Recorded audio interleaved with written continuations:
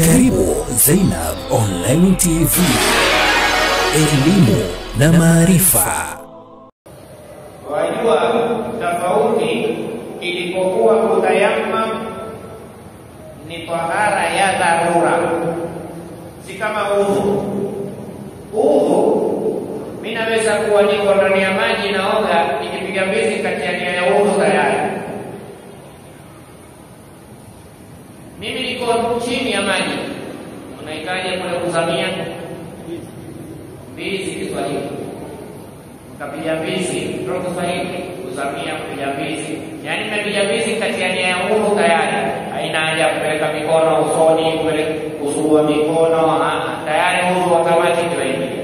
Lakini tayamam, siwezi kusimama mahala gari yapita vumbi kati ya nia ya tayamam, ani yakasida mipaka nikusudie lile vumbi nigonge alafu nilipeleke, yaani ukusudie lile vumbi kulipeleka kwenye uso, ukusudie lile vumbi kulipeleka kwenye mikono. Kinyume na maji, wakati wa kutawadha wewe kutoka nyumbani waje kwa mvua yanyesha, huku katia umetania umetia siwe mvua kupiga mvua ikakupiga uso ikakupiga mikono, na haiangalii imeanza wapi, maadamu ile mvua yateremka kote. Maadamu umenyeshewa kuanzia juu yatosha kuitiania, maadamu umetiania na huku maji yateremka. Kadhalika mtu wa kupiga paipu ya maji, yani ile maji huku kama lebo banafaya na pengine umefungwa mikono na unaenda kupatia nia ya udhu, halafu umepanda nini? Lakini tayamu haiwezekani ati vumbi vumbi ukasema ya mambo basi ukaweka na mikono na unaenda vumbi liingia na mikononi na usoni, haiwi mpaka ukusudie kulihamisha lile vumbi. Vumbi hili fanya hivi kisha peleka, fanya hivi, peleka mkono huu, peleka mkono huu, lazima katika. Ndio wakasema an yaksidahu, yani an yaksida turaba, ukusudie ule mchanga. Si lazima mchanga, linaokusudiwa kwenye mchanga ni vumbi liliyoko kwenye mchanga. Na hapa napenda nitoe nieleze kitu kimoja. Kuna mchanga huku kawaida yake una vumbi, lakini kwa matokeo pengine ukapita upepo ukaliteka lile mchanga hauna vumbi. Haimaanishi kwamba lazima ulitaka mwanzo tia mikono utoe uangalie unao vumbi au hauna. Wewe mwenyewe una akili. Kawaida mchanga huu huwa na vumbi au huwa hauna huko.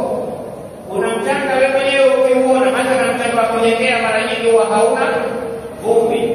Sasa kuna mchanga kawaida una vumbi, lakini ukipita upepo kulitoa ile vumbi, kwa sababu kuna mchanga hauna vumbi, lakini asili ule mchanga unao yatosha.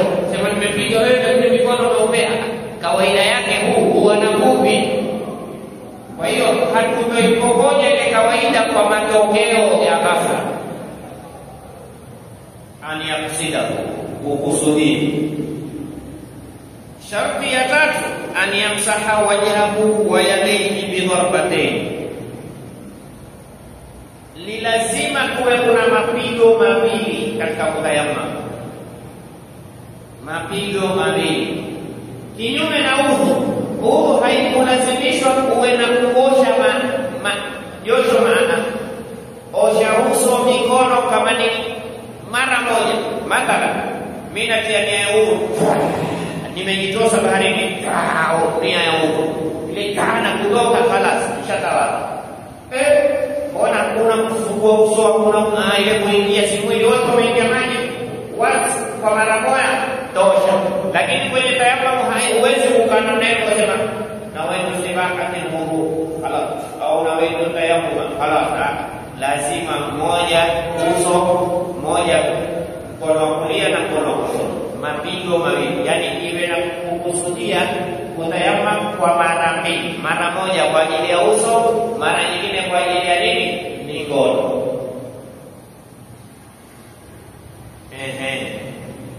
Ni uzuri wakati ukiwa watayama umevaa pete kama mimi wakati wa kutaka kupiga uso ni sunna kuitoa, wakati namtaka kupanguza uso, lakini wakati nataka kupanguza mikono ni lazima niitoe.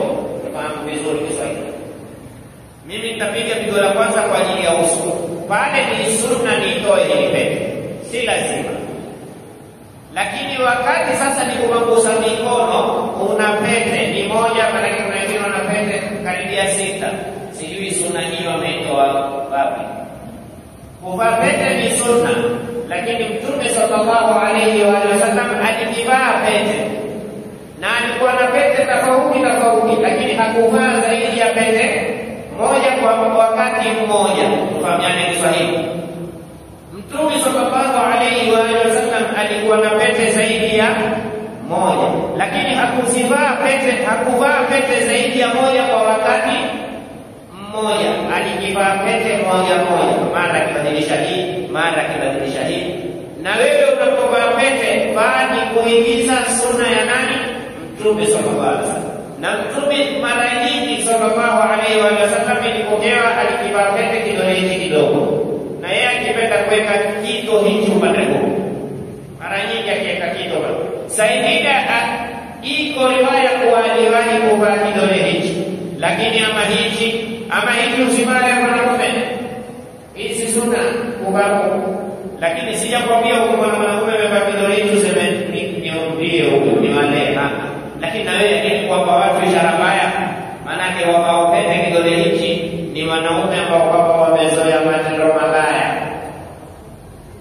wanaanza kuvaa pete. Wajua hawa watu wa kufanya na kitendo cha kaumuluki, kwa vile zamani ilikuwa ilikuwa si kama sasa. Sasa hivi wenyewe ujipigia debe Zamani ilikuwa ni jambo aibu, ni jambo la la haya, ni jambo watu lazima wajifiche, wakawa kutafuta ishara, tutoe alama gani za kuonesha kwamba na mimi nimo, na mimi mwanachama. Kuvaa kidole hiki, ili ukimwona mtu amevaa kidole hiki hiki au hiki na shahada, ujue huyu ni mmoja katika wawili, ima ni juhudi au ni juhudi ni double impact, two in one. Sasa wakaweka ni ishara, watu wakawatambua, akasema watu wa kidole hiki nimefaniki hiyo. Sasa haijulikani kufanya au kufanya. Wakaja kwenye vivuli hivi vivuli asili yake vilikuwa na watu wa Uturuki, wanaume kuvaa, asili yake. Usimwone mtu amejaza mwili kwenye bida mejaa huku kwingine kote tuko wazi. Wakawasema basi tu tuwekeni ishara, ukiwa wewe wafanya weka upande wa kulia, ikiwa wewe wafanya vaa upande wa kushoto, ikiwa wewe yote mawili kwako yafaa, vaa kipuli. Usijihesabu wewe ubaki kuni ni mwanaume, ubaki kuni ni ufaniki kuvaa kipuli walianza jela ya Los Angeles. Kule jela Los Angeles Amerika, ndio walikuwa hawana haja mambo ya kushikana kiguvu, ama usinishike kiguvu. Wewe mwangalie mwenzako amevaa upande gani, ukimwona amevaa upande wa kulia, eh, utakusaidiwa, itakusema kumwambia yeye. Ukimwona amevaa upande wa kushoto, itakusema kumwambia yeye. Nasallallahu salama na sisi wa Afrika kwa kupenda kuigiza nini, umemwona mchezaji mpira amevaa kikuli, uone yeye mchezaji mpira. Mangapi wachezaji mpira hawafai kitu? Ukuambiwa leo tukue murua na adabu kwa wachezaji mpira. Mwenyezi Mungu alikwambiaje? lakad kana lakum fi rasulillahi uswa, wa kufaa kuingizwa peke yake ni Mtume Muhammad sallallahu alaihi wasallam. Wema Afrika umekwenda ukakuwa, siku hizi imekuwa, zamani ilikuwa cheni watu wawili ni viumbe viwili wakao cheni, ima ni mwanamke au ni mjibwa roho cheni, au sio? Mtu usema bwana nataka cheni kwa ajili ya mbwa, kwa sababu mbwa ukifunga kamba kaikata roho ameshoka cheni. Lakini siku hizi umekuwa na wanaume kwa neno tena unakusikia mwanamume kuuliza wai hii yako yangu. Au la wala, yaani kuna cheni ya mume, kuna na cheni ya mke, na sisi tuko warabu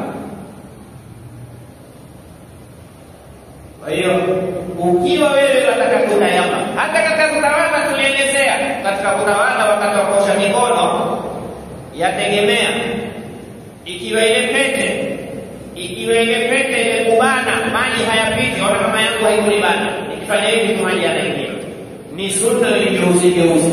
Ikiwa imekubana ha, haigeuki, ni lazima wa kuosha mikono. Sasa na wakati wa kutayamma, ukiwa wataka kupangusa kwa ajili ya uso, ni sunna uivue, lakini wataka kupangusa kwa ajili ya mikono, ni lazima uvue pete.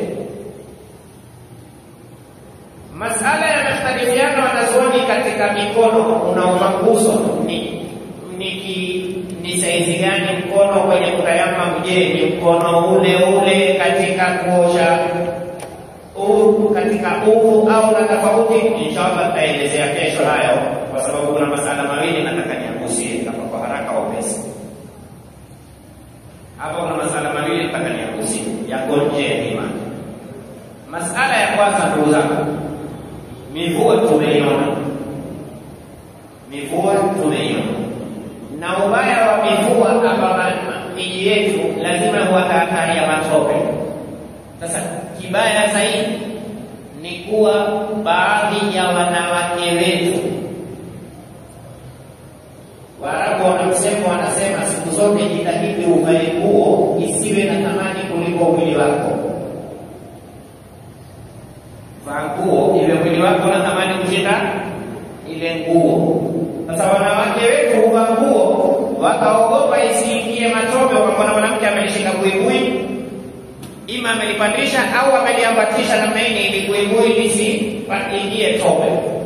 Ikawa sasa yeye kupandisha nguo ile huku kote kwaonekana hataki nguo iingie matope, lakini mwili wake hukia mwanamke au takuta mwanamke ameshika buibui namna hii limemgandama makalio yake, huonekana hajmu saizi ya makalio yake kwa ajili ya kukimbia mvua au kukimbia matope. Kwa hiyo jamanini, tuhakikishe wake zetu wakitoka, mabuibui yao, nguo zao zisiwe na thamani kushinda miili yao, wathamini ile miili. Hata nguo itafuke utaiosha, lakini mwili wako wewe wanawake wengi siku za joto kama siku za kiaka hawaonekani hajmu, manake unashokaa amevaa buibui fofo pana, lakini kukenda mahala kuna matope, atalishika mbele kwa lifute, akilifuta limemgandama, likimgandama na huku nyuma kuna wenye kutena upijaji chapo. Ewe mwanadamu. Waswahili kwambia mato hayana pazia, nasema mimi sawa, lakini alokusudia yeye atazamwe. Wewe mwanamume ndio kwambia usimtazame, lakini wewe kwa nini usababishie wewe mwanamke usababishie mwanamume kutazama? Hata ile mwili ya uchafu, yatakiwa mwanamke akifika mahala kuna matope, koroga, ukienda nyumbani kufanya nini? Tafua ukaosha, lakini usio wewe ukakuosha kule, wachafua kwingine. Sisi tumeambiwa moja katika alama za imani ni kuondosha udhia njiani, ani usisababishe udhia katika njia. Na moja katika udhia mbaya ulioenea ni huu uchafu wa wanawake kutembea uchi au kutembea na nguo za kumbana. Unaona udhia mbaya, afadhali uchafu wa choo utafunga pua, lakini macho jamanini mazito kuyafunga. Hili nimependa kutanabalisha. La mwisho Siku hizi jamanini, tumekuwa hatari kwenye mitandao, na kila mmoja akija atakakuja kuzungumza jambo bila ya kuwa makini, bila ya kutoa dalili ya makini.